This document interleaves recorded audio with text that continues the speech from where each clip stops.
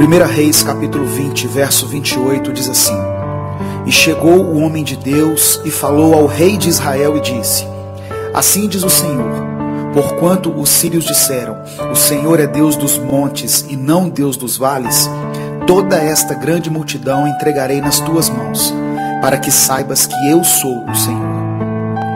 Essa passagem nos ensina algo tremendo.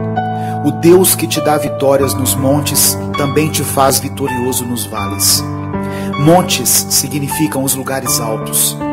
É quando as coisas estão bem na nossa vida.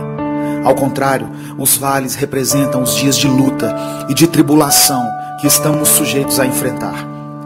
O povo de Israel havia conquistado uma grande batalha contra a Síria. Eles venceram os sírios em uma montanha na Palestina mas os sírios disseram que Israel tinha vencido porque a luta havia sido travada nos montes.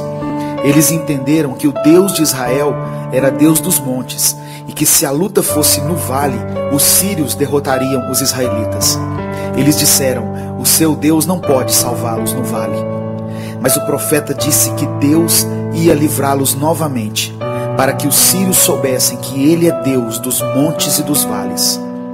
Não importam quais sejam as circunstâncias que você esteja enfrentando, Deus pode fazer com que você vença, nos montes ou nos vales. Deus tem o um controle de todas as coisas. A nossa vida está nas mãos do Senhor. Quando enfrentamos problemas, Satanás quer colocar na nossa mente que Deus nos abandonou e que ele se esqueceu de nós. Mas Deus pode e quer suprir todas as nossas necessidades.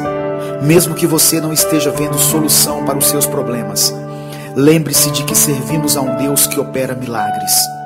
No meio do deserto, Deus mostrou sua grandeza para o povo de Israel, quando fez brotar água da rocha e fez descer alimento do céu. A palavra diz que durante o dia o Senhor ia adiante deles numa coluna de nuvem para guiá-los no caminho, e de noite numa coluna de fogo para iluminá-los.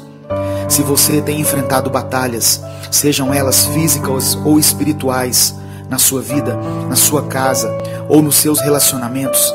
A Bíblia diz que com Deus podemos vencer um exército e transpor as muralhas. O Senhor também nos ajuda a carregar o nosso fardo. Jesus convida a ir até Ele todos os que estão cansados e sobrecarregados, para que recebam descanso em suas almas. Quando sentimos que não vamos ter mais força para prosseguir, podemos pedir a ajuda a Deus, que Ele certamente virá em nosso auxílio. Quando você estiver passando pelo vale, o diabo vai querer te convencer que Deus não é tão bom assim, que não vale a pena servir a esse Deus. Mas não desista, continue na peleja.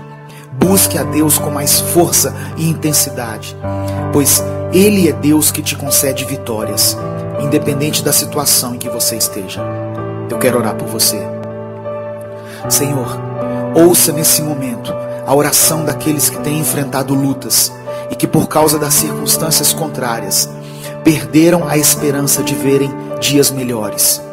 Que o Senhor opere um milagre na vida desse irmão e dessa irmã que tem buscado a sua face. Que os vales e os desertos pelos quais eles têm passado sejam vencidos para a glória do teu nome. Eu oro em nome de Jesus. Amém. Deus te abençoe. Eu sou Edivaldo Oliveira. Inscreva-se no canal Minuto com Deus e conheça mais mensagens que vão edificar sua vida.